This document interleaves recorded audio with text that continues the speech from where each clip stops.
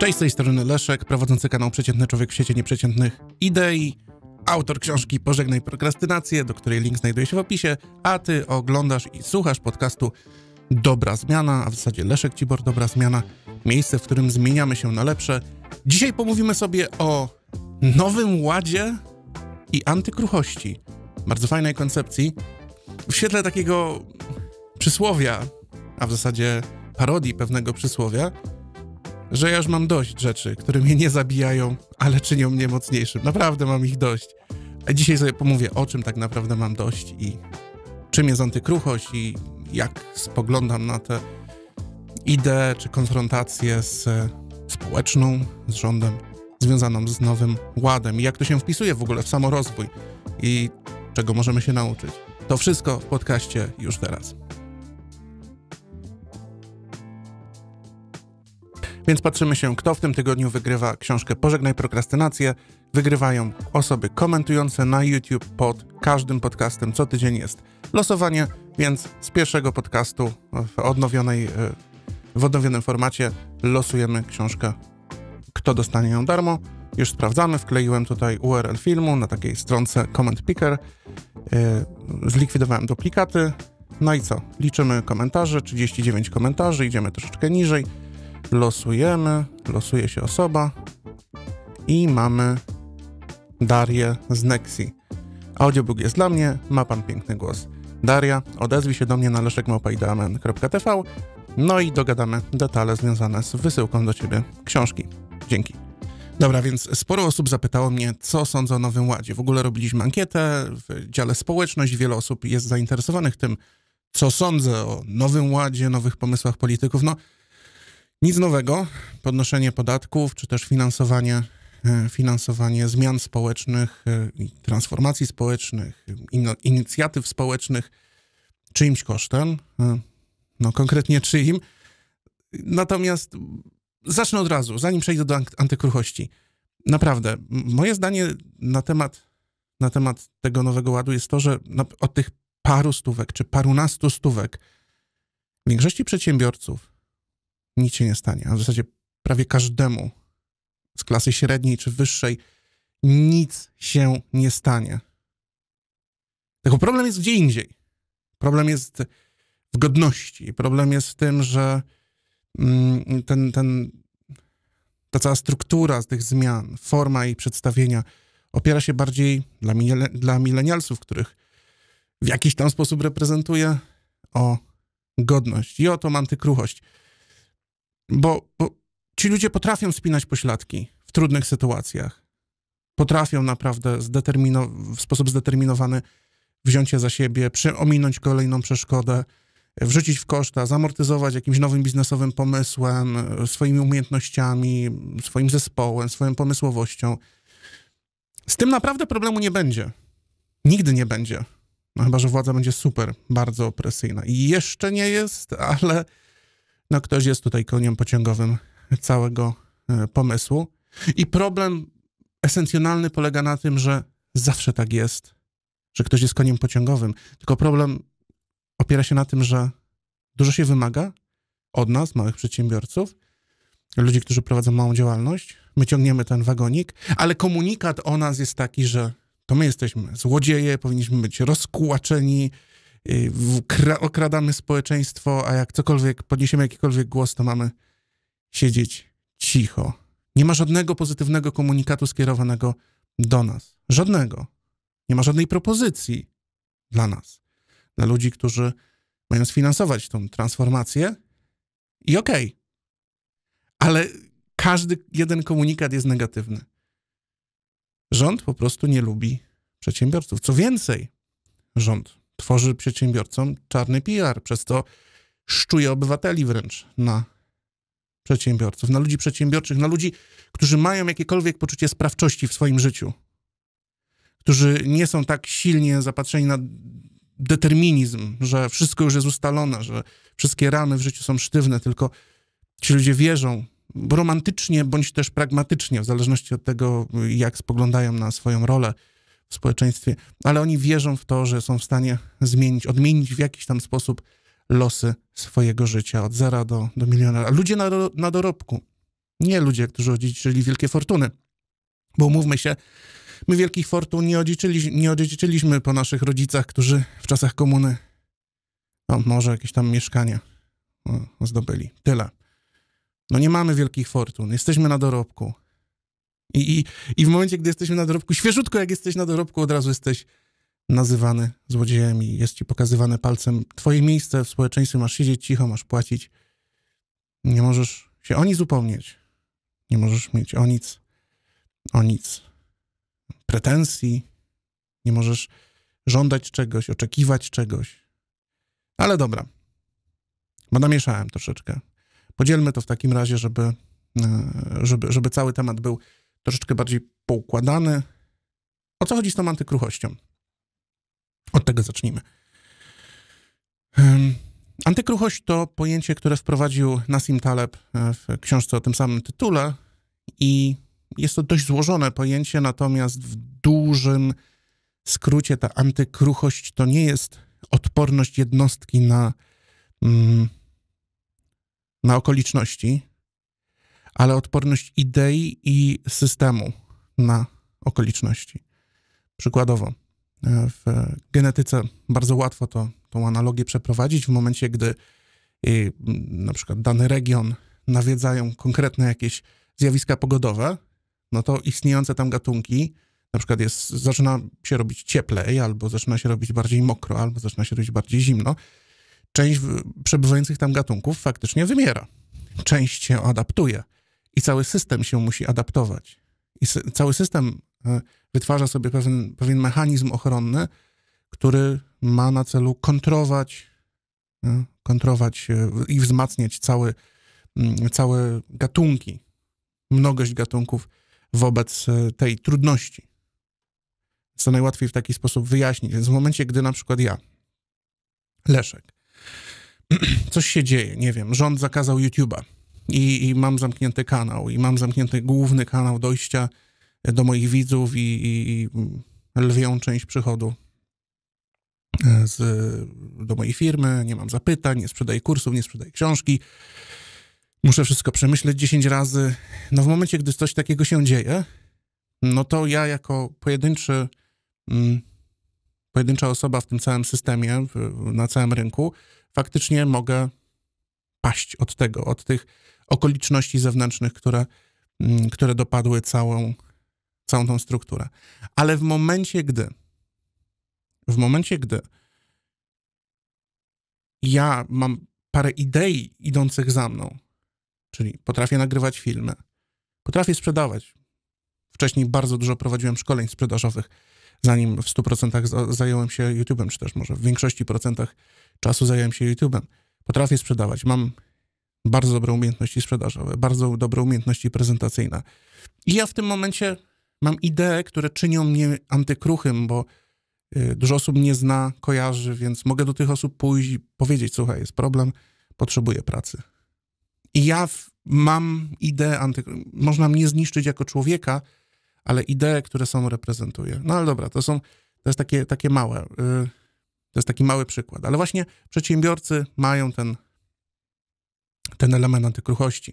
Przyszła pandemia, pozamykała y, biznes restauracyjny. Sporo restauracji padło, ale to nie znaczy, że rynek restauracyjny kompletnie padł, jest skazany na, na niepowodzenie. Nie, on, on się adaptował. Ci, którzy przetrwali, y, zmienili się, zmienili podejście, wzmocnili się na tej zmianie i wy, wytworzyli sobie mechanizmy antykruche.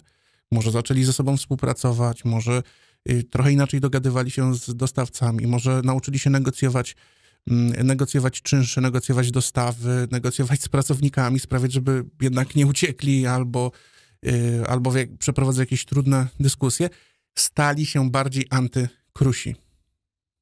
I to jest esencja antykruchości. I to jest to, y, to nie jest to powiedzenie, że co mnie zabije, to mnie wzmocni. To, to jest niewłaściwe ujęcie tego, tego pojęcia, bo co mnie nie zabije, to mnie może niestety poturbować w życiu. Ale idee, które wykształci, to, czego się nauczę w trakcie, uczyni mnie bardziej antykruchym.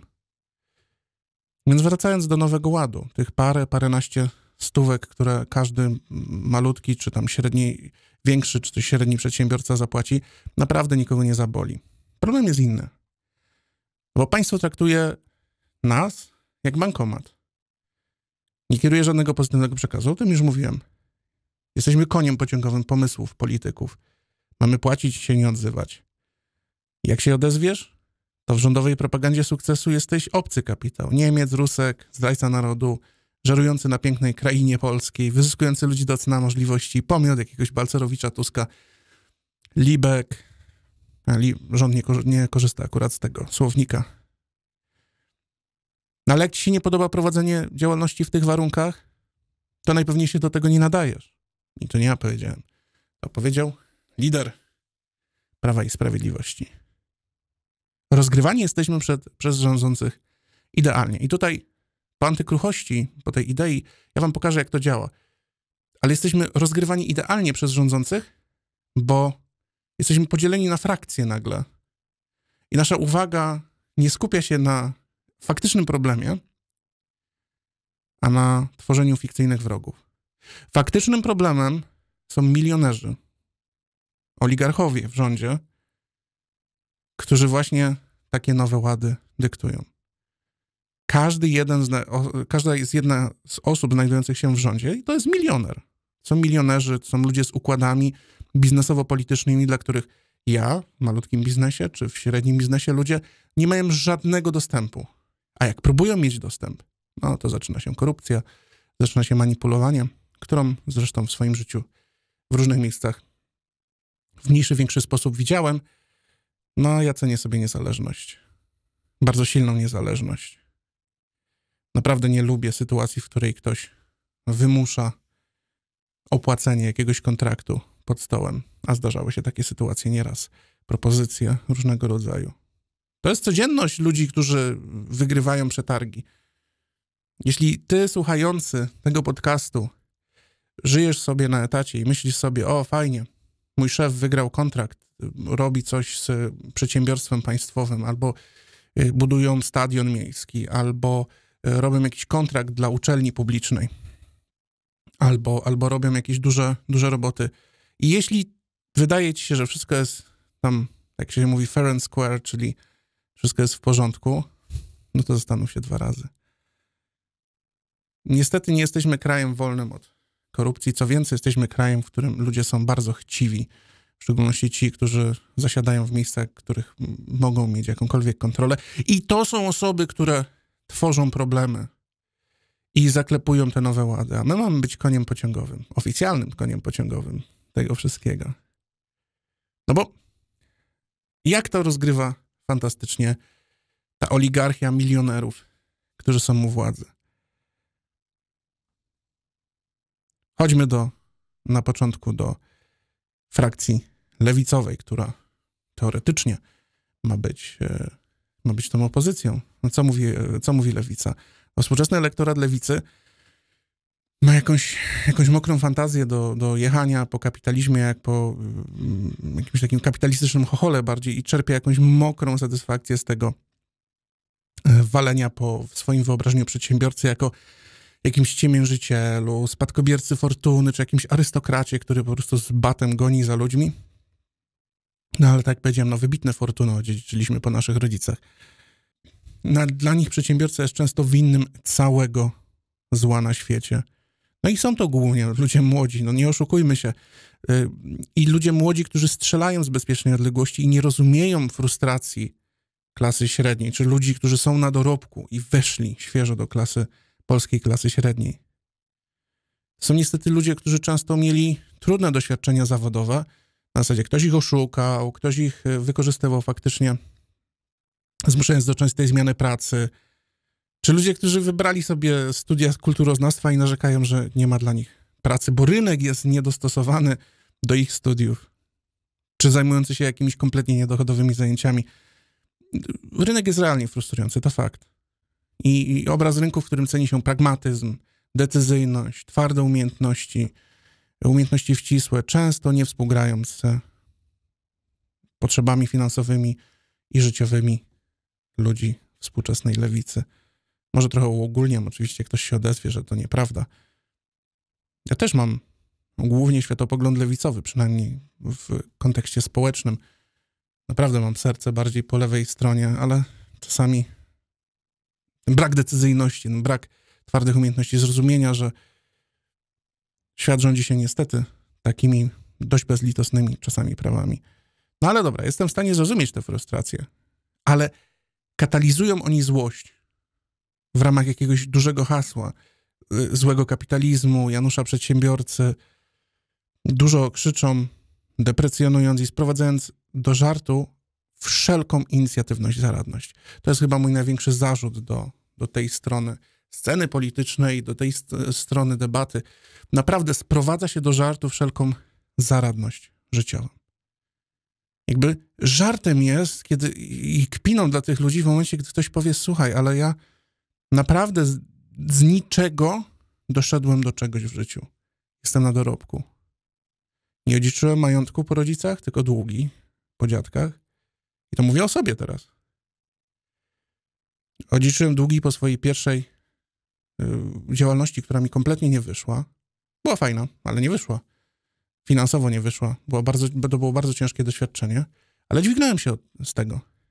Nie mając bogatych wujków, ciotek, nie pożyczając się, nie zapożyczając się, oczywiście tworząc po drodze rodzinę, która mi bardzo dużo wsparcia dała. Ale to ja tworzyłem, to jest moja inicjatywność też. Ja stworzyłem to od zera, korzystając ze swoich umiejętności, z tego, że potrafiłem parę lat przezimować, że tak powiem, oszczędzać, żyć bardzo skromnie, kumulować możliwości do tego, żeby urosnąć po czasie. Z absolutnego zera. I w momencie, gdy ja coś takiego opowiadam, mówię, ach, na pewno coś jest na rzeczy. A, nie, nie wierzę ci, nie wierzę ci. No, nie, no. To jest problem. To jest problem tego, jak współczesna lewica spogląda na, na inicjatywność i zaradność. To jest determinizm pełną gębą. Wszystko jest sprzymierzone przeciwko słabej jednostce. Wszystko. A jednostka jest tą ofiarą bez żadnego wyjścia. Naprawdę ja i wielu innych milenialsów, przedsiębiorców, których znam, jesteśmy zaprzeczeniem tej idei o 180 stopni. A obserwuję lewicowe konwersacje uważnie i naprawdę czasem boli mnie to, że, że, że te rzeczy, które, które naprawdę wyszły całkiem nieźle, przy odrobinie szczęścia oczywiście, ale też przy odrobinie szczęścia choćby takiego, że po drodze wychodząc z tego całego dziadostwa nie pochorowałem się, nie stało się nic jakiegoś tragicznego z moim życiem. Tak, tak, no to jest też jakiś element szczęścia. Ale ja nie jestem deterministą. Dlatego właśnie tworzę kanał popularno-rozwojowy, bo ja nie jestem deterministą. Ja uważam, że można się zmienić. Warto się zmieniać, warto się zmieniać na lepsze. Po to prowadzę kanał Dobra Zmiana, czy podcast Dobra Zmiana w tym kontekście. No i serce mnie boli. No bo taki milenial przedsiębiorca naprawdę ledwo zaczął dorabiać. Wspinał się bardzo po tej drabince. Powolutku. Zaczął zarabiać pieniądze co? Dwukrotnie lepsze, trzykrotnie lepsze od przeciętnego Kowalskiego. Pięciokrotnie lepsze od Kowalskiego. Ponosząc przy tym pełną odpowiedzialność. To też jest ważne. Pełną odpowiedzialność za zyski, za straty, za pracę, za ludzi, prawną odpowiedzialność, pełną odpowiedzialność budowania od zera. Wielu ludzi nie ma zielonego pojęcia o tych wymiarach odpowiedzialności, jaką przedsiębiorca bierze, podejmując decyzje finansowe, decyzje o wejściu w jakiś kontrakt. To jak podpisujesz jakąś umowę i zobowiązujesz się do wykonania czegoś, pamiętaj, że to działa w dwie strony, bo jak tego nie wykonasz, to jeszcze możesz popłynąć w drugą, czyli pójść w straty. Kto te straty pokryje? Oczywiście pracownicy chcą partycypować, więcej zarabiać, mieć, mieć więcej możliwości, ale cały ten schemat podatkowo, cały ten schemat, mechanizm podatkowo-prawny związany właśnie z systemem odpowiedzialności i tego, jak dużo idzie w podatkach, jak dużo idzie y, pensji do ręki, plus jaka na tym wszystkim jest czapka odpowiedzialności. No jak wycenisz odpowiedzialność za cały majątek swojego życia? Odpowiedzcie sobie, zastanówcie się kiedyś, jak byś wycenił mm, odpowiedzialność za za swój własny majątek, czy za swoją własną pensję. Na przykład y, opcja nieotrzymania pensji w danym miesiącu nie jest zbyt atrakcyjna dla pracownika, który jest przyzwyczajony, do, żeby dostawać pensję. A jednak to jest rzeczywistość wielu małych przedsiębiorców, że 2-3 miesiące potrafią być nerwowe, w cudzysłowie mówiąc suche, no bo kontrakt się toczy, jedno duże zlecenie się jest w trakcie realizacji i nie wiadomo, czy zostanie rozliczone. W zeszłym roku we wrześniu realizowałem zlecenie dla pewnej telewizji, nie powiem jakiej. Płacili 7 miesięcy. Czy 8, co by byli po, po, po czasie. Musiałem naprawdę zrobić grubą awanturę. Byłem naprawdę wściekły na to. Nie były może pieniądze takie, które by utopiły działalność od razu, ale no to był miesiąc pracy całego zespołu, który był do tyłu. Czy było realne ryzyko, że mi nie zapłacą? No pewnie nie, bo są mechanizmy prawne, które można było poruszyć, ale to by przeciągnęło całą wypłatę o kolejny rok. To jest odpowiedzialność w, tam, w jakimś tam stopniu. Ja nie prowadzę skomplikowanej działalności. Ja konkretnie. I odnoszę się do własnego przykładu, ale jestem w stanie sobie wyobrazić wiele innych, bardziej skomplikowanych kontraktów, które mogą pójść bardzo, bardzo nie tak. Kto za to odpowiada? No dobra, koniec do odpowiedzialności, ale to jest właśnie ten element antykruchy. Chodźmy do prawicy, do, do w zasadzie elektoratu, ludzi, którzy popierają Nowy Ład, tak wprost. I to jest w ogóle trochę w jakimś tam stopniu paradoks, bo jest to niegdysiejszy elektorat lewicowy, w jakimś tam stopniu robotnicy, osoby słabiej wykształcone. Tak pokazują statystyki. Proszę mnie tutaj nie łapać za słówko i że kogoś tam obrażam. Oni również nie rozumieją do końca frustracji tej nowej polskiej klasy średniej. Ci ludzie są otoczeni kultem cierpienia i bólu. Praca musi sprawiać, że człowiek się nam, nabrudzi i namęczy. Vlogowanie na YouTubie, występowanie to, to żadna praca jest. Człowiek siedzi i po prostu gada, robi jakieś niewartościowe rzeczy. Tu trzeba się nacierpieć, napracować. Praca musi boleć. A jako, że boli, to mają wewnętrzne poczucie niesprawiedliwości i chęć tego, żeby ktoś tej sprawiedliwości yy, zaznał, żeby przedsiębiorca poczuł, jak to jest jak to jest być ciemiężonym. Ci ludzie patrzą na przedsiębiorców, na małych, yy, na małych ludzi, którzy mają tą sprawczość, mają taki zmysł, potrafią coś sprzedać, potrafią wynegocjować lepsze warunki, patrzą jak na kombinatorów, złodziei, oszustwo, cwaniactwo. Każdy, kto zarabia więcej niż oni. Masz taki, wyobrażam sobie taki szereg głów, tłum, który stoi, ktoś wychyla tą głowę i oni w tym momencie decydują, głosują na takiego polityka, który obieca, że tą głowę przytnie do równo, do tłumu. No bo zrobią to za nich rządzący. No bo czemu mieli sobie kłopotać się w ogóle czymś takim? No, są w tym trudnym schemacie i życie też nie rozpieszcza. No, jak najbardziej rozumiem. Ale rządzący milionerzy, którzy z majątkami i systemem układu politycznego, biznesowego nieosiągalnego dla małych przedsiębiorców, właśnie to próbują zrealizować. Wielki biznes, polityka pięknie to po prostu rozgrywa. No bo wyobraźmy sobie teraz taki antykruchy model społeczny jak mogłoby to w takim takiej fantazji, w śnie to wyglądać. No bo gdzieś tam w tym całym równaniu, w, tym, w, te, w tej całej sytuacji e, z Nowym Ładem, z podnoszeniem podatków, z finansowaniem społecznych zmian, dryfuje sobie, nie wiem, z 200 tysięcy takich małych przedsiębiorczych milenialsów, może nawet 400 tysięcy, kto wie. Całkiem sporo. I oni są na dorobku. I mają się zamknąć. Bo albo lewica ich rozkułaczy na dobre, albo prawica kosztem ich kosztem dopuści do spełnienia się sprawiedliwości dziejowej i transferu godności. Czyli godność od przedsiębiorców i cwaniaków przejdzie do ciężko pracujących ludzi. No bo to jest ostatecznie kwestia godności, naprawdę. I nie chodzi o to, żeby teraz wziąć na przykład jakiegoś programistę, freelancera, który idzie sobie po ulicy i kłaniać mu się w pas, panie dobrodzieju, witać się mu w zależności od jego wkładów w cały ten system. To nie chodzi o to.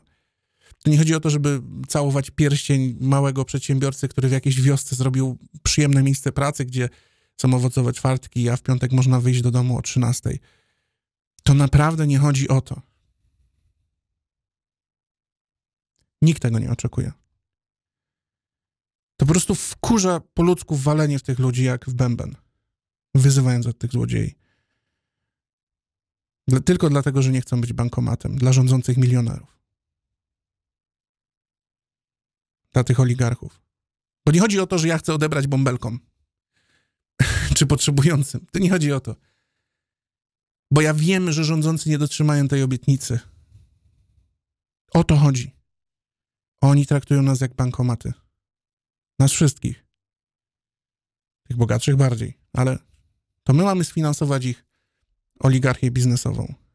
No, słuchajcie, są, są ludzie, którzy.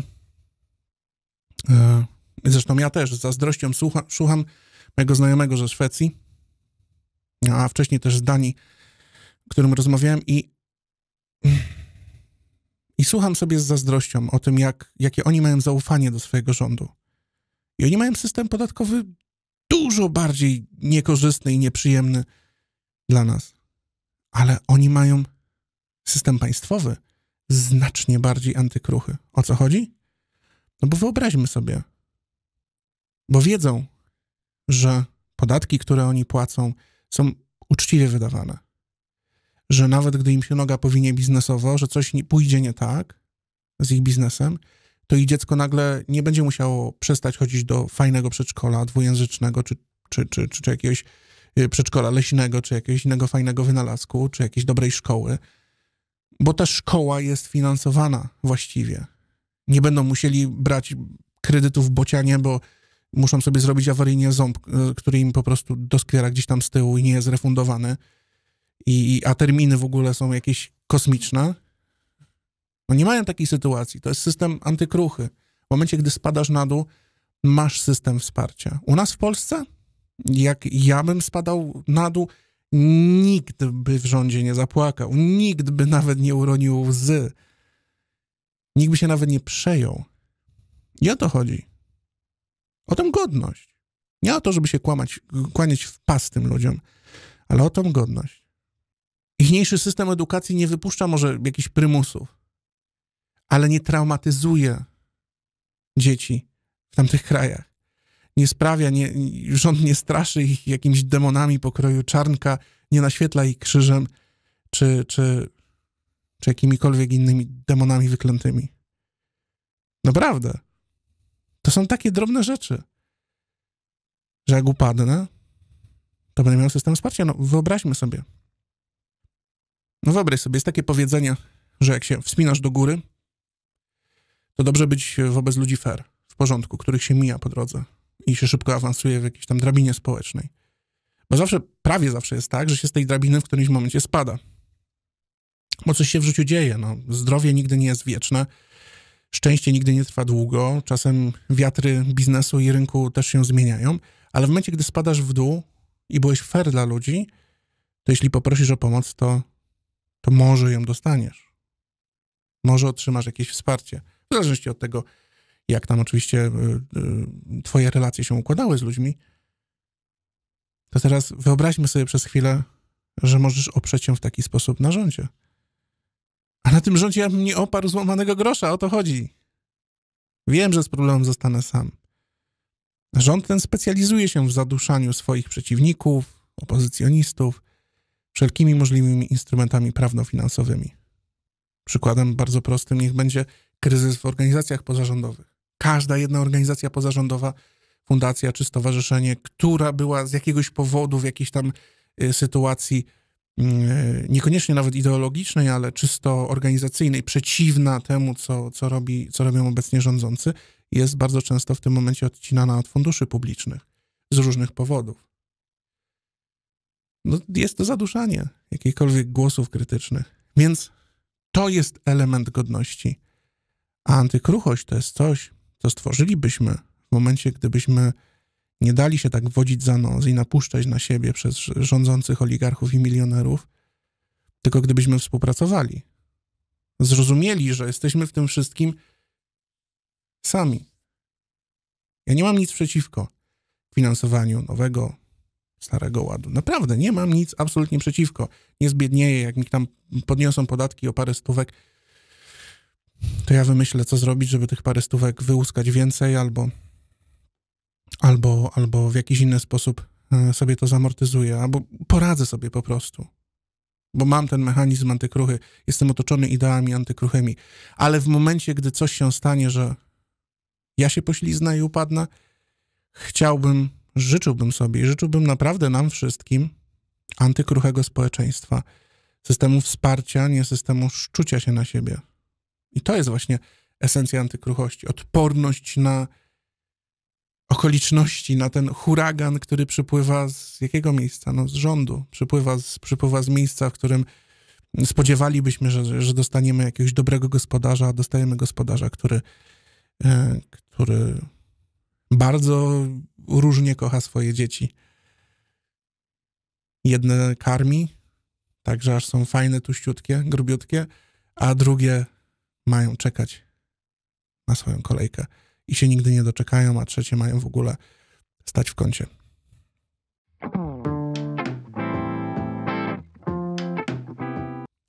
Jak co tydzień bierzemy też jeden komentarz e, z, albo z komentarzy pod YouTube'em, albo bier, biorę jedno pytanie, które trafiło na maila. W zeszłym tygodniu było pytanie na maila. W tym tygodniu, z racji tego, że wystartowaliśmy z powrotem z podcastem, mam trochę komentarzy z zeszłego tygodnia. Więc Tymon Wiśniewski pyta, jak wyłączyć perfekcjonizm typu trzeciego, nastawiony na aprobatę. Mam ogromny problem z prokrastynacją, perfekcjonizmem wszystkich typów po trochu i z ogromnym lękiem do zaczynania czegokolwiek. Miałem surowych rodziców i dużą potrzebę aprobaty.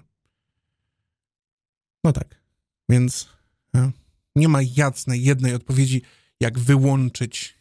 Nie, nie, nie da się zresztą wyłączyć czegoś takiego, co, co siedzi wewnątrz ciebie. To troszeczkę tak jest, że słyszysz głos. I czyj głos słyszysz? Czy jest to głos twój własny, który od ciebie wymaga bardzo dużo, musisz być lepszy, albo jesteś beznadziejny i musisz być wystarczająco dobry, albo nie jesteś wystarczająco dobry? Czy jest to głos na przykład twojej matki albo twojego ojca, który ciągle ci mówił, że jesteś, że jesteś ciapą, ciamajdą, masz dwie lewe ręce i, i, i musisz się bardziej postarać i nigdy nic nie było dobrze zrobione. I to nie jest tak, że to się da wyłączyć, ale to jest kwestia określonych standardów. To znaczy, ktoś narzucił ci wtedy nierealistyczne standardy, źle cię ocenił. I możesz spróbować to kontrować, jakby spisując sobie mm, tego, tego rodzaju y, opis na kartce, i możesz spróbować to kontrować, ustalając swoje standardy.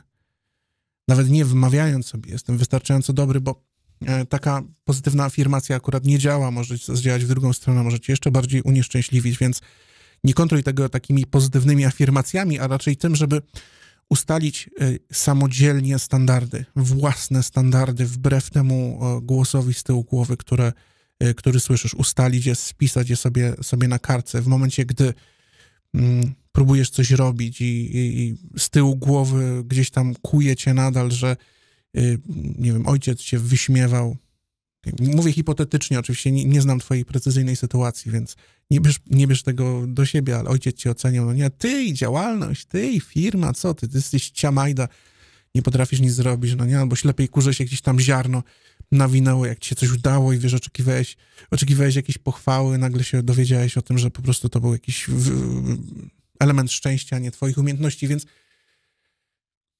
spisz sobie swoje standardy zigno próbuj ignorować te, e, te głosy z tyłu głowy. Żyj z nimi, bo, bo będziesz żył z nimi, ale one będą przemijać, bo ty będziesz sobie udowadniał e, krok po kroku, że te standardy, które sobie wyznaczyłeś, są bardziej realistyczne niż te standardy, które zostały ci narzucone, które wynikają. Wynikają oczywiście z głosu, który jest w tobie, nie zagłuszysz go, ale możesz go oswoić, możesz się z nim oswoić. Tak jak można się oswoić do pracy w skupieniu, w, w sytuacji, w której ktoś gada obok ciebie, za, za głową ktoś stoi i po prostu rozmawia i jesteś w stanie do czegoś tak trudnego nawyknąć, więc jesteś w stanie nawyknąć do tego, że ktoś tam z tyłu sobie gada, ale ty wiesz dobrze, że to nie jest ani twój głos, to są jakieś oczekiwania innych osób trudno, to może wzbudzać oczywiście określony poziom emocji. Oczywiście, jeśli wzbudza to poziom emocji do, do takiego, do skali traumy wręcz, do jakiegoś naprawdę skomplikowanego przeżycia, no to być może warto było się udać do terapeuty, żeby y, spróbować z tym popracować y, na trochę głębszym poziomie. Natomiast na tym podstawowym poziomie naprawdę spróbuj odnaleźć swoje standardy, spisz je sobie, nie, że, nie, nie na zasadzie kontry, że nie, nie mam dwóch rąk, tylko jestem w stanie zrobić konkretny produkt. Jestem w stanie stworzyć fajną stronę internetową i zacząć go sprzedawać na przykład. Jestem w stanie pójść dzisiaj do klientów i, e, i przynajmniej dwa spotkania odbyć dziennie. To jestem w stanie zrobić. Czyli jakby spróbuj kontrować te takie ab abstrakty, że masz dwie lewe ręce. To jest abstrakt. No nie? To jest jakaś abstrakcyjna myśl, czymś bardzo konkretnym, standardem, który, który zawiera w sobie coś, co możesz sprawdzić, policzyć, zmierzyć najlepiej. Wtedy bardzo szybko wprowadzisz to w życie i bardzo szybko udowodnisz sobie, że, że to jest możliwe, że jest możliwe działanie wbrew temu głosowi z tyłu głowy. Dzięki za komentarz. Przypominam, komentarze są losowane. Zbieram pytania na leszekmałpa.tv do podcastu albo biorę pytania spod, e, spod filmów. To tyle, jeśli chodzi o antykruchość, to tyle, jeśli chodzi o moją opinię na temat obecnej sytuacji. Mam nadzieję, że nie przytłoczyłem. Przypomnę tylko, że komentujący pod tym filmem mają szansę na wygranie książki Pożegnaj prokrastynację. Y, pod tym filmem na YouTube. Oczywiście link do książki, jeśli ktoś chciałby zakupić, też jest dostępny na YouTubie z bardzo fajną, atrakcyjnym rabatem, atrakcyjną ofertą. Co tydzień losuję jedną osobę z komentarzy, która otrzyma książkę. To co? Słyszymy się w następnym podcaście. Cześć.